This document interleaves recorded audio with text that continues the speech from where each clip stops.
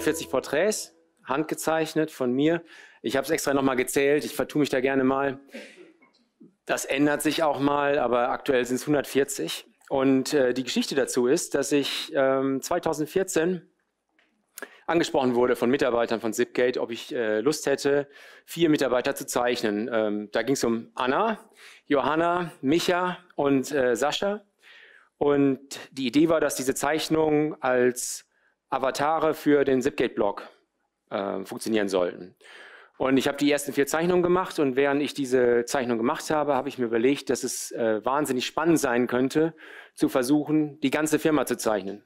Und das waren ungefähr 125 Mitarbeiter. Und ich hatte mir überlegt, dass ich so pro Zeichnung ungefähr 30 Minuten brauche, dass ich pro Tag ungefähr fünf Zeichnungen mache, dass ich dann in der Woche 25 Zeichnungen habe und nach fünf Wochen fertig bin. Und dieses Projekt habe ich Zipgate vorgeschlagen und die fanden die Idee gut. Und ich habe angefangen zu zeichnen und habe festgestellt, dass es nicht ganz so einfach ist, wie ich mir das vorgestellt habe. Also tatsächlich ist es so gewesen, dass ich viele der Mitarbeiter, vor allen Dingen am Anfang, mehrfach gezeichnet habe. Aus dem einfachen Grund, äh, dass die Prämisse meinerseits war für das Projekt, dass der Mitarbeiter, die Mitarbeiterin sich erkennen können sollte. Und da, gab es durchaus Meinungsverschiedenheiten, da gab es auch äh, verschiedene Kritiker, zum Teil durften die äh, Kinder der Mitarbeiter mitsprechen. Und äh, Sigurd zum Beispiel, der gerade hier stand, den habe ich in etwa achtmal gezeichnet, bis äh, Lenia und Nuria, seine beiden Töchter, damit einverstanden waren. Das ist Frieda, so habe ich sie 2014 gezeichnet. Ja. Frieda 2017. Es ist also für mich so gewesen, dass je mehr Zeichnungen ich gemacht habe, desto besser bin ich im Zeichnen geworden.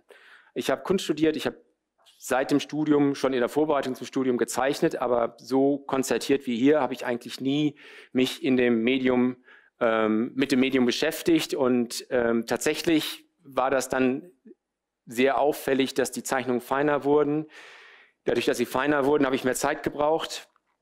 Und dadurch, dass ich mehr Zeit gebraucht habe, ähm, ist das ganze Projekt quasi immer größer geworden, so dass ich letztendlich mir selber eine Deadline gesetzt habe, weil von Anfang an die Idee war, die Porträts in Buchform zu veröffentlichen, damit ich selber auch die Möglichkeit hatte, hätte, das Projekt anderen vorzustellen, anderen zu beschreiben.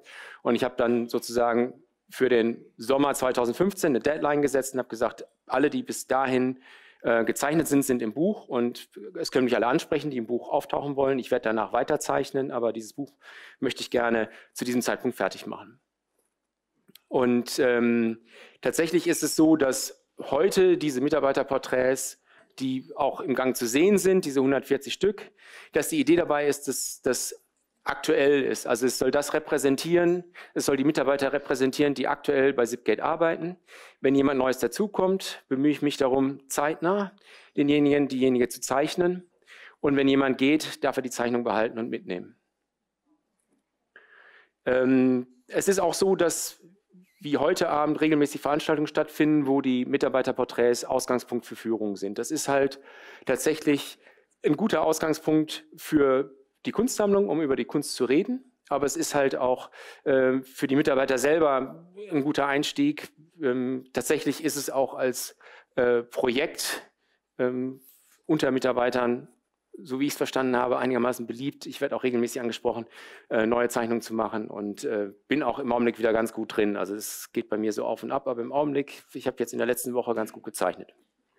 Also es läuft weiter. Und das Schöne ist, dass es äh, auch historische Vorbilder für sowas gibt. Es gibt zum Beispiel die ähm, Artist Placement Group von äh, Barbara Steveni gegründet in London äh, in den 60er Jahren, wo es darum ging, dass Künstler außerhalb des Kunstkontextes, der Kunstwelt, der Galerien und Museen ähm, innerhalb von Firmen mit Arbeitern in der Firma zusammenarbeiten sollten. Und das ist etwas, was ich zu dem Zeitpunkt nicht wusste, was sich aber im Prinzip hier in ähnlicher Weise abgespielt hat, dass ich mit meiner künstlerischen Arbeit auf die äh, Kollegen bei Zipgate getroffen bin und über das Zeichnen auch äh, viele in der Firma kennengelernt habe und auch die Firma besser kennengelernt habe. Bei dieser Artist Placement Group waren im Übrigen äh, Künstler wie Yoko Ono dabei, ähm, Joseph Beuys, ähm, Barry Flanagan, der mit den Hasen, der damals noch keine Hasen gemacht hat.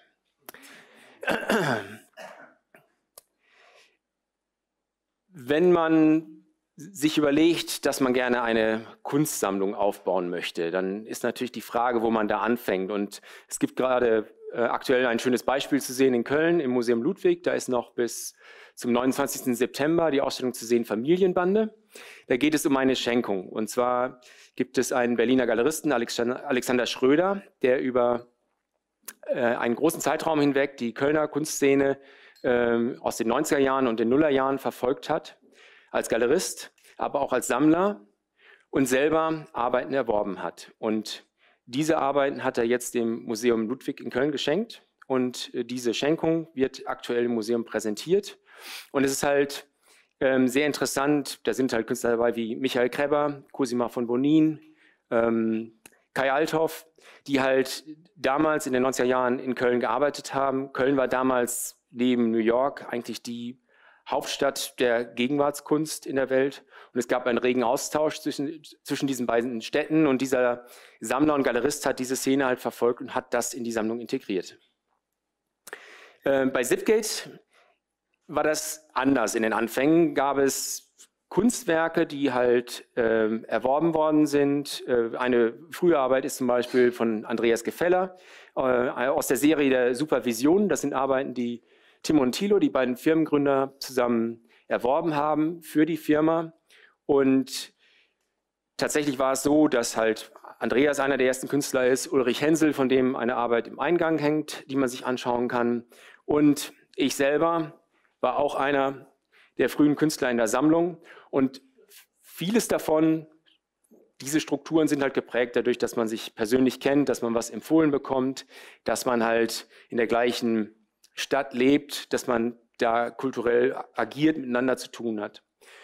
Jetzt war halt für uns die Frage ab dem Zeitpunkt, als ich quasi mit dabei war, haben wir uns überlegt, wie kann man so eine Kunstsammlung weiterentwickeln. Und ähm, zum einen gab es einen ganz konkreten Anlass. Ich selber hatte eine Ausstellung in Berlin ähm, bei meiner damaligen Galerie und nebenan in der Galerie BQ hat David Shrigley ausgestellt. Das ist David Shrigley. Und ähm, Tim und ich sind zusammen in die Ausstellung von David Shrigley gegangen und waren so begeistert, dass wir uns quasi direkt vor Ort fünf Arbeiten ausgesucht haben, die zum Teil jetzt auch hier im, den, in den Räumen zu sehen sind.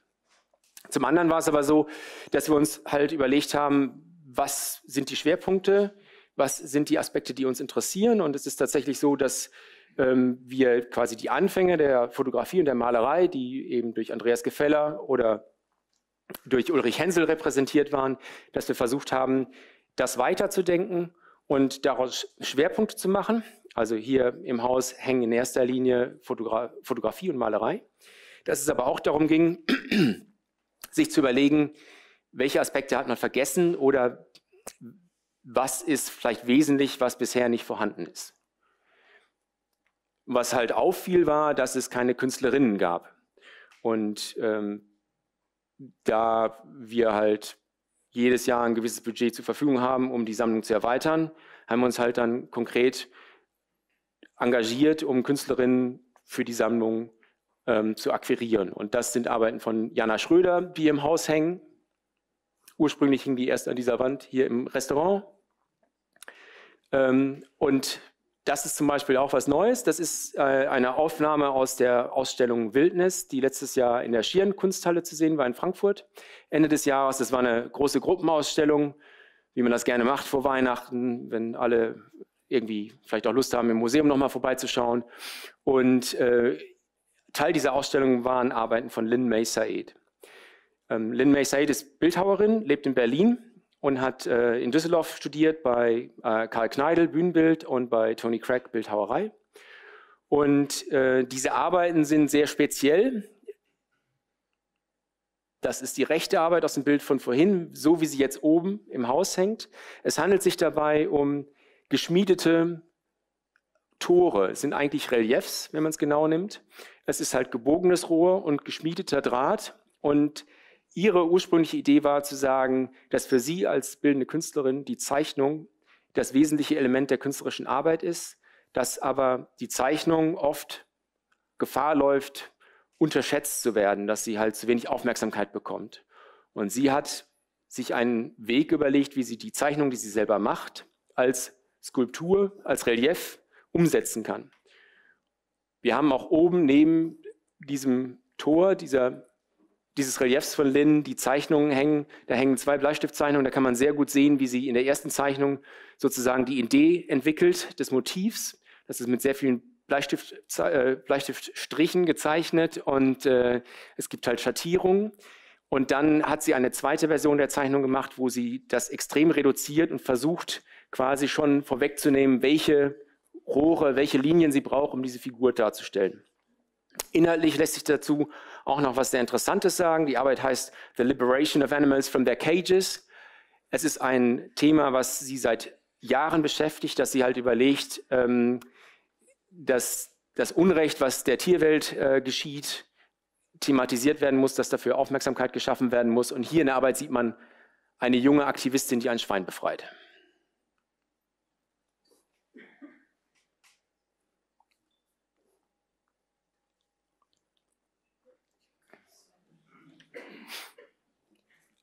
Anfang der Woche war auf Spiegel Online ein Bilderrätsel. Das hatte ein Schriftsteller und Journalist verfasst, Benjamin Mark. Und grundsätzlich, also die Grundidee ist, dass halt mehrere Bilder hintereinander auftauchen. Äh, das Ganze soll quasi illustrieren, wie schwierig es ist, herauszukriegen, was Kunst ist. Und gegenübergestellt wurden Malereien von äh, Tieren, Kindern und Meisterkünstlern, berühmten Künstlern. Und ich habe den Quiz gemacht, ich habe es natürlich nicht hingekriegt. Also ähm, man tappt halt in die Falle, dieses Bild ist von einem achtjährigen Jungen gemalt.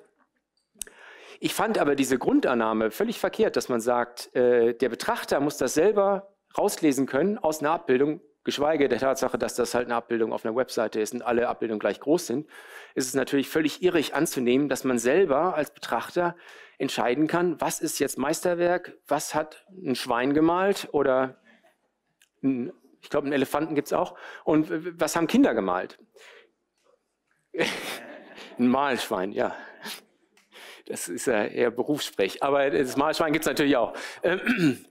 Und ähm, tatsächlich fand ich es auch völlig irritierend, äh, dass quasi der Autor voraussetzt, dass Kunst ähm, eigentlich bildende Kunst nur aus abstrakter Malerei besteht, weil äh, ganz offensichtlich das Feld der bildenden Kunst viel weiter ist. Da gibt es äh, Skulptur, es gibt Installation, es gibt Fotografie, es gibt Performance, äh, es gibt figurative Malerei und aktuell würde man sagen, dass das gar nicht so klar zu entscheiden ist, ob jetzt abstrakte Malerei mehr äh, bevorzugt wird oder figurative Malerei.